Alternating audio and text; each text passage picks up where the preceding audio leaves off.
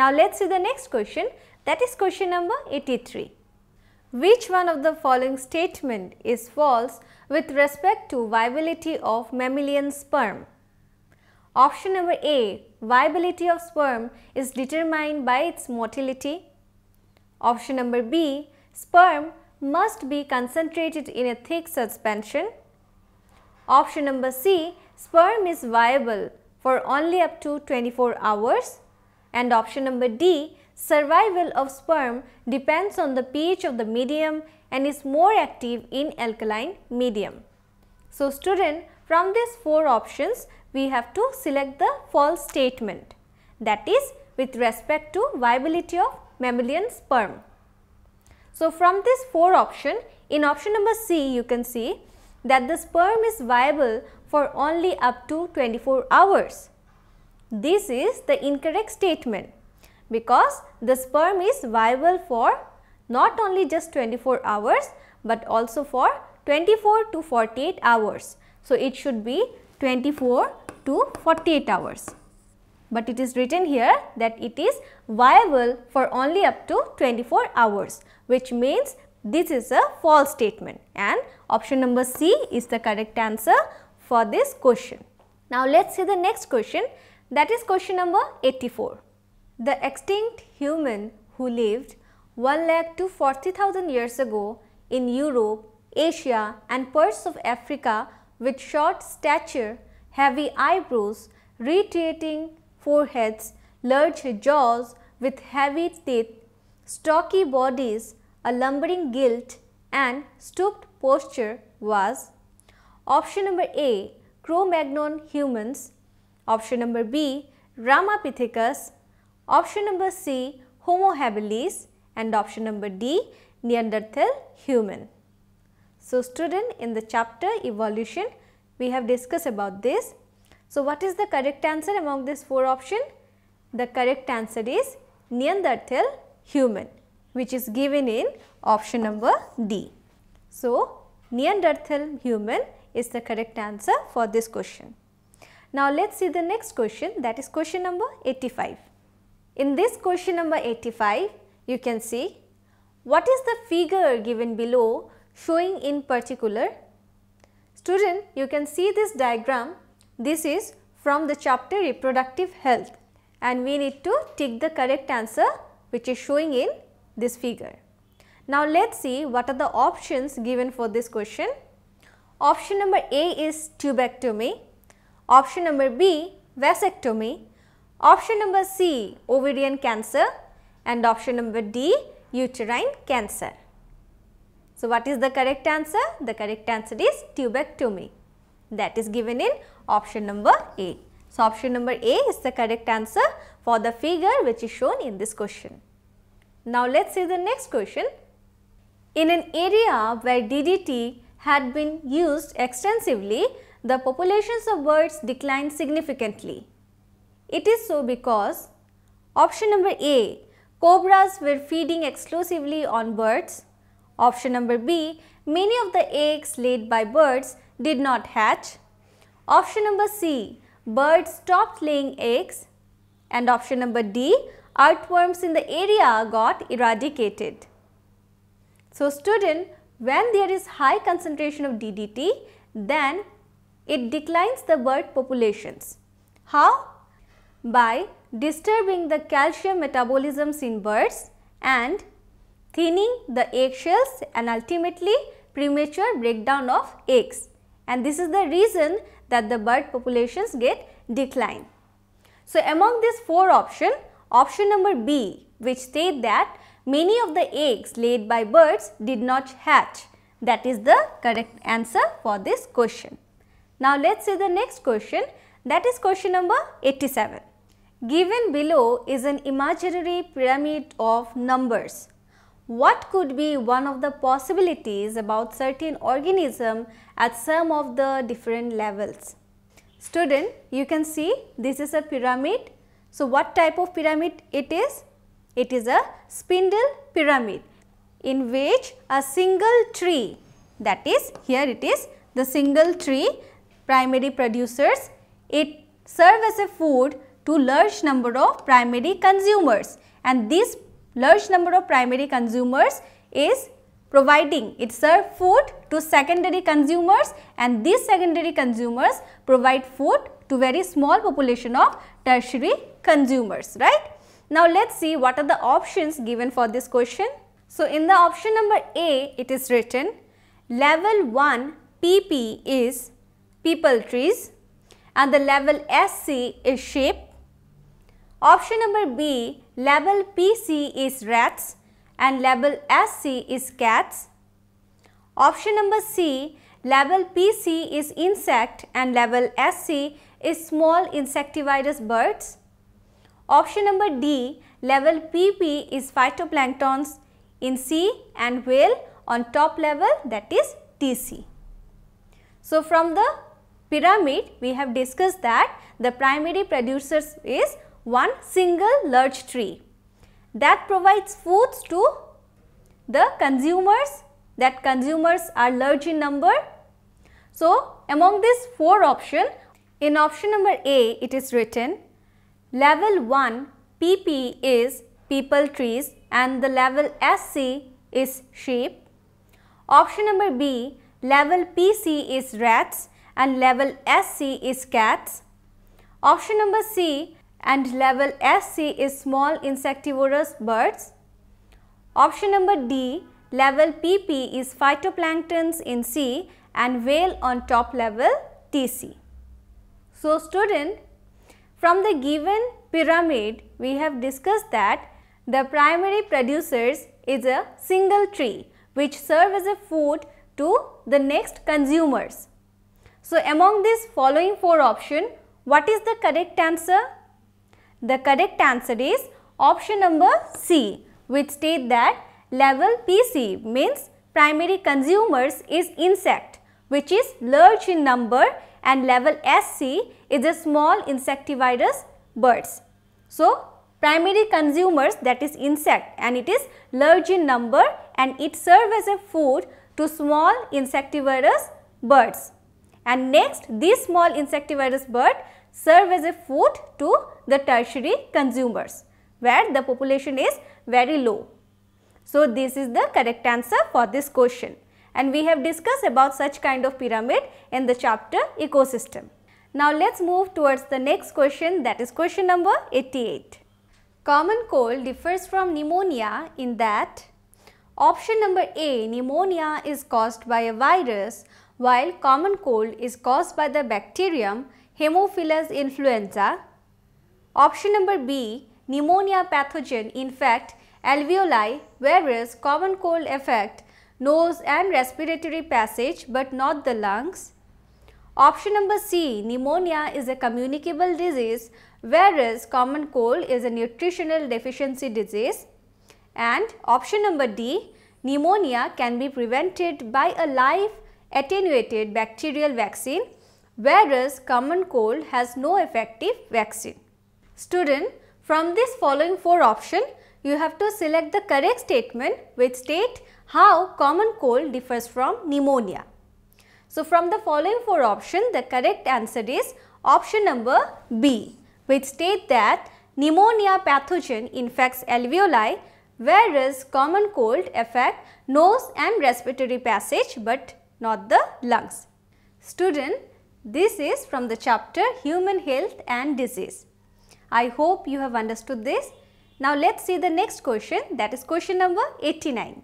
In this question, identify the possible link A in the following food chain. Plant, then insect, then frog, then there is a link which is labeled as A and after that there is eagle. Now you have to fill up this link A. Now in the question the options are option number A cobra, option number B parrot, option number C rabbit and option number D wolf. So what is the correct answer? The correct answer is option number A that is cobra. So this is the correct answer. So after plant the plant is eaten by the insect and then the insect is eaten by the frog and the frog will be eaten by the cobra. So, here it will be cobra. then this cobra will be eaten by this eagle. So, this is the correct sequence of food chain. Now, let us see the next question that is question number 90.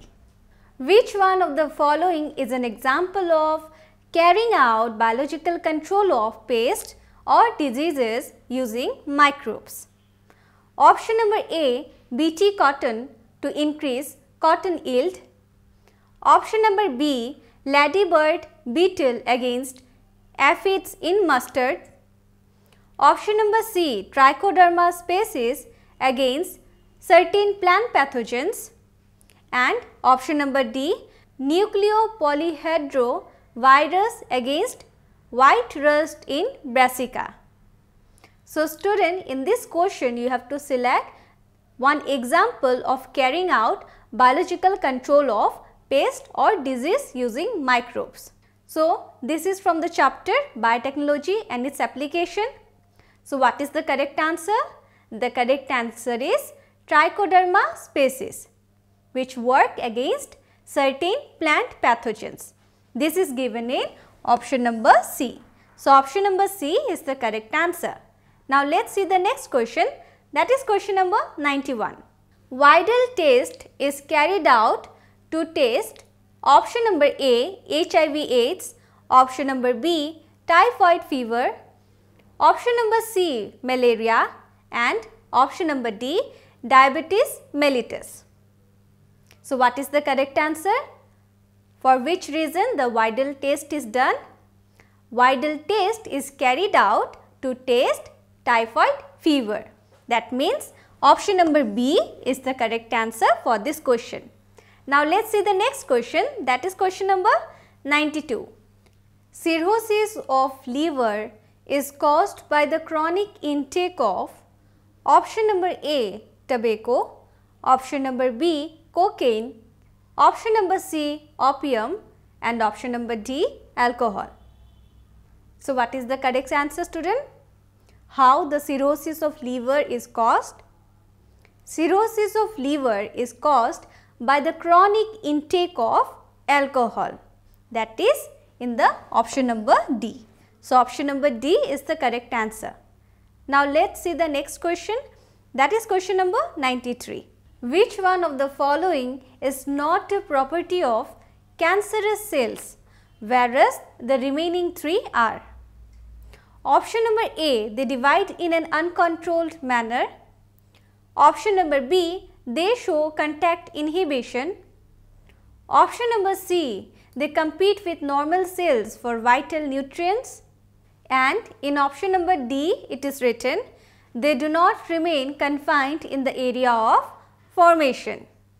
So, student in this question you have to select the one which is not a property of cancerous cell. So, student from the following four option you can see in option number B it is written they show contact inhibition. Is this a property of cancerous cell? Well, no. Normal cell show contact inhibition, right? So, option number B is not a property of cancerous cell. So, option number B is the correct answer here. Now, let us see the next question that is question number 94. In this question it is written motile zygote of plasmodium occurs in option number A human red blood cells, option number B human liver, option number C gut of female anopheles and Option number D salivary glands of Anopheles. So, student in this question you have to select the one where the motile zygote of plasmodium take place. So, in the chapter human health and disease we have discussed about the life cycle of plasmodium. So, what is the correct answer here? The correct answer is it occurs in the gut of female Anopheles which is given in option number C. So, this is the correct answer. Now, let us see the next question that is question number 95. In which one of the following options the two examples are correctly matched with their particular type of immunity? Option number A, the example is saliva in mouth and tears in eyes. The type of immunity is physical barriers. Option number B mucus coating of epithelium lining the urinogenital tract and HCl in stomach. The type of immunity is physiological barriers. Option number C polymorphonuclear leukocytes and monocytes is the example and the type of immunity is cellular barriers. And option number D anti-tetanus and anti-snake bite injections and the type of immunity is active immunity. So, student in the chapter human health and disease we have discussed about different types of immunity that is the active and passive immunity and thereby we have also discussed the subdivisions of it. So, what is the correct answer? So, correct answer is in option number C. It is written here that the polymorphonuclear leukocytes that is white blood cells and the monocytes they are the examples and the type of immunity is the cellular barriers. So, this is the correct answer. Now, let us see the next question that is question number 96. The figure below is the diagrammatic representation of the E. coli vector PBR322. Which one of the given options correctly identify its certain components? Student, you can see this diagrammatic representation of the E. coli vector. This is already given in a NCERT textbook of the chapter biotechnology principle and process. Now, you have to select the correct match which identify its certain components. Now, let us see what are the options given for this question. In option number A, HindIII E. coli is the selectable markers.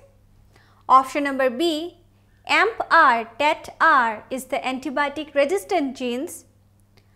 Option number C, ORI is the original restriction enzyme and option number D, ROP is the reduced osmotic pressure. So, student in the chapter biotechnology we have already discussed these names. These are all the nomenclature of plasmid vector. So, in the E. coli vector, we have got different types of components. Now, you have to select the options which is the correct one. Now, from the following four option, in option number B, it is written that ampicillin resistance and tetracycline resistance, these are the two resistant that is antibiotic resistance gene in the E. coli plasmid vector whereas option number A, C and D is the incorrect statement. So, from the following four option, the only option which is correct is option number B. So, option number B is the correct answer. Now, let us see the next question that is question number 97. Measuring biochemical oxygen demand that is BOD is a method used for Option number A measuring the activity of Saccharomyces cerevisiae in producing curd on a commercial scale. Option number B working out the efficiency of red blood cells about their capacity to carry oxygen. Option number C estimating the amount of organic matter in sewage water. And option number D working out the efficiency of oil driven automobile engines. Student, from this following four option, you have to select the one biochemical oxygen demand that is BOD is a method used for estimating the amount of organic matter in sewage water. So, from the following four option, option number C is the correct answer, whereas rest of the options that is option number A, B and D is the incorrect answer. Now let us see the next question that is question number 98. The most abundant prokaryotes helpful to humans in making curd from milk and in production of antibiotics are the ones categorized as option number A chemosynthetic autotrophs, option number B heterotrophic bacteria, option number C cyanobacteria and option number D archaebacteria. So, student in this question you have to select the one which is the category and it is mostly helpful to humans in making curd from milk and in the production of antibiotics. So student from the chapter microbes in human welfare we have discussed that lactobacillus that is lactobacillus is used to prepare curd whereas staphylococci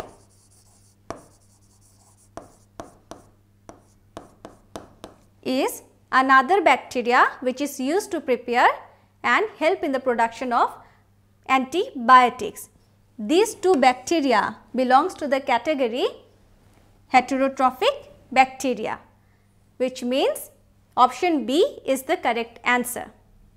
Now let us see the next question that is question number 99. People who have migrated from plains to an area adjoining Rohtang Pass about 6 months back. Option number A suffer from altitude sickness with symptoms like nausea, fatigue, etc. Option number B have the usual red blood cell count but their hemoglobin has very high binding affinity to oxygen. Option number C have more red blood cells and their hemoglobin has a lower binding affinity to oxygen. And option number D are not physically fit to play games like football. Student, we know that moving up the hills cause decrease in oxygen level and total atmospheric pressure which stimulate the juxtaglomerular cells of kidney to secrete erythropoietin hormone that increases the number of red blood cells. These red blood cells are increased to compensate that supply of oxygen. So, from this following four option, option number C which state that have more red blood cells and their hemoglobin has a lower binding affinity to oxygen. This is the correct answer because they move towards the higher altitudes. Now, let us see the next question that is question number 100. So, student this is the last question of NEET question paper 2012. So, in this question it is written Monascus purpureus is a yeast used commercially in the production of option number A citric acid, option number B blood cholesterol lowering statins, Option number C ethanol and option number D streptokinase for removing clots from blood vessels. In the chapter microbes in human welfare, we have discussed different types of microbes and their commercial uses. Now, from this question it is written that the yeast that is Monascus purpureus is used commercially in the production of blood cholesterol lowering agents it produce statins. So, option number B is the correct answer. So, Monascus purpureus it produce statin which is used as blood cholesterol lowering agent. So, this is the correct answer. So, student this is all about the 100 questions of biology from NEET question paper in the year 2012. I hope you have understood all these questions all the questions have come from your NCERT textbook of both class 11 and 12. So, you need more practice from this two books and I hope you have understood all the chapters very clearly. So, keep practicing and keep learning. We will meet you in the next session solving next year NEET question papers. That's all for today. Thank you and have a great day.